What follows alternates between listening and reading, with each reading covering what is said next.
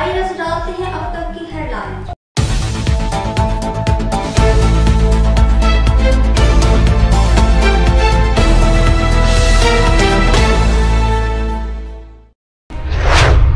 D پیو او ضلع قلعہ عبداللہ چمن شوکت علی محمد کے خصوصی ہدایت پر پولیس پارٹی نے دو بدنام منشیات فرشوں کو پکڑ کر ان کے خلاف نارکوٹیکس ایکٹ کے تحت مقدمہ درج کر لیا۔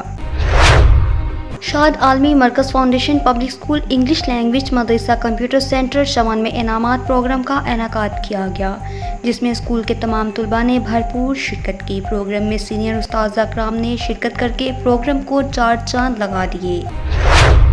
تکرن میں سی آئی پولیس نواب شاہ کی ایس ایچ او مریم کا پولیس کی بھاری نفری سمیت رہنمانی محلے پر چڑھائی چادر اور چار دیواری کا تقدس بمال کر دیا۔ پولیس کی جانب سے کئی گھنٹوں تک علاقے کا محاصرہ کیا گیا اور کاروائی کے دوران پولیس نے عورتوں پہ تشدد کیا اور بد کلامی بھی کی گئی۔ جس کے بعد شہریوں کی جانب سے C I police S H O Maryam کی گاڑی کے محاصرہ کیا گیا اور پولیس کی جانب سے کی جانے والی بلا جواز کاروائی کے خلاف شدید شدید احتجاج کرتے ہوئے پولیس کے خلاف شدید نعرے بازی کی گئی۔ مریم صاحبہ آئی تھی جو جو ان کا جو ریڈ ہے وہ قابل مذمت ریڈ ہے ایک شریفوں کے گھر میں گھس کر چادر اور چار دیواری کے پامال کیا گیا ہے تقدس کو.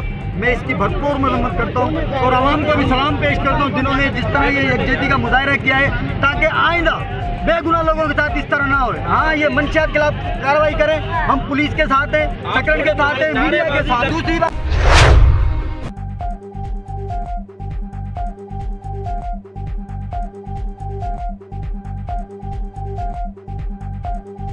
نشے کی لت میں ڈوب جانے والے نشئی بھی ارباب اختیار سے بہتری کی امید لگائے ہوئے ہیں۔ ضلع لیا میں نشے کے عادی افراد کا نشے سے چھٹکارا حاصل کرنے کے لیے سرکاری سطح پر ہسپتال قائم کرنے کا مطالبہ۔ اس حوالے سے مزید جانتے ہیں فوٹ سیون نیوز کے نمائندہ رضوان چیما کی اس رپورٹ میں۔ لیا اور اس کے گرد و نواح میں بیشتر سرکاری عمارتوں کے قریب نشہ کرنے والے افراد نے ڈیرے ڈالے ہوئے ہیں، جن میں زیادہ تر نوجوان نسل ہے۔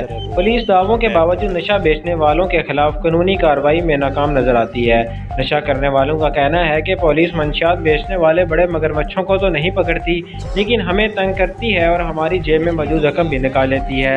حکومت کو چاہیے جس طرح بڑے شہروں میں غریب اور بے گھر افراد کے لیے پناہ گاہیں تیار کی گئی ہیں، اسی طرح ہمیں بھی گھر دے اور علاج معالجے کے ذریعے نشے سے چھٹکارا حاصل کرنے کے لیے ہسپتال بنائے تاکہ ہم بھی سکون سے اپنے بچوں کی روزی کما کر ان کا پیٹ پال سکیں۔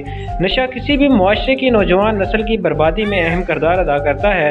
حکومت کو چاہیے کہ نشے کی فروخت پر پابندی کے لیے سخت قانون بنائے اور نشے کی لت میں پڑی ہوئی نسل کو بچانے کے لیے فوری اقدامات کرتے ہوئے ہسپتالوں کا قیام عمل میں